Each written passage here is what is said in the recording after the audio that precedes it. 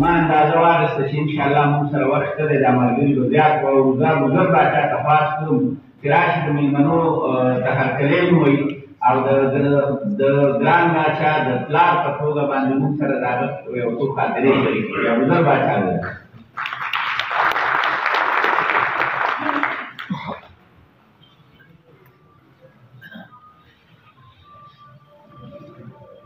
بسم الله الرحمن الرحیم جګړې د ناس ټول ځان او خاورې مشران نه ترلاسه کوي تاسو تاسو ټول حضور مشران مشران چې کوم ناس دي د ټول مننه تاسو د ګرامر راتګ چې تر ځان د خدای بخره زه په چارسدو ادبي کې هم د ملګرو له ټولو ولو وختو څنګه ته خان ډېر منندوی یم چې دلته خپل غم شوی او خپل زموږ سره دوی والده بي بي وفات شوی وه او البته په درېیمه ورځ د دوی ترور او دا چې د دوی له مشر ورور پام هم هغه وفات شوی وه او ما ته وی چې دا پروګرام ته موږ وګڼو نو ځکه تاسو په خپل هم شوي د مېلمانه دي راځي په ده وی چې نه دا پروګرام په خپل ځای باندې کومه ورځ چې موږ ټاکلی دا به موږ کوو او دوه درې شپې به زه په دې چاپټر کې کوم چې دې پروګرام لپاره دا موږ ته رسېدلی وي او ملګرو سره دا ډکه کړو نو د ده زه ډېر زیات پربړی وم ګران هغه سهار دی او شاید تاسو ټول ګماني او هغه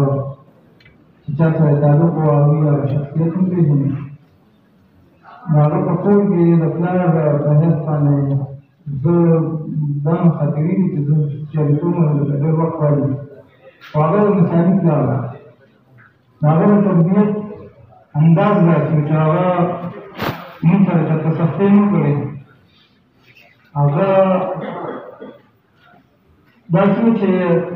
ماشوم له وجه مخ باندې کلک ورکول او په مخ باندې اول ډېر بد لګي دا وایي دې ته ماشوم انا مجبور کیږي دا تاسو هغه داسې زخم ورکوي چې هغه بیا ډېر عمر پورې چې دا یاد وي نو هغه ته موږ سره څه لږ ډېر سختي کړي دي او یو څو موقع باندې نو هغه نو تعلیم پاتې کړی دی هغه به دا وایي چې دا ما تعلیم پاتې شوی نیمګړی نو زه دا ارمان په خپل بچو باندې